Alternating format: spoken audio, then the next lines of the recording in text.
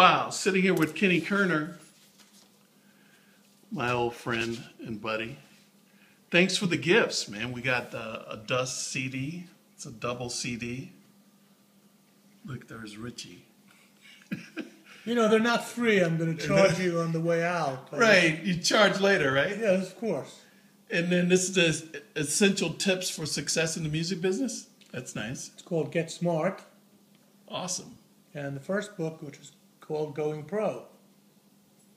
Wow. Well, thanks for sitting down with me, It's uh, my pleasure. and uh, we'll Are get we this. recording now, by the way? we're recording. A little heads up. would We'll get nice. this party started. Okay.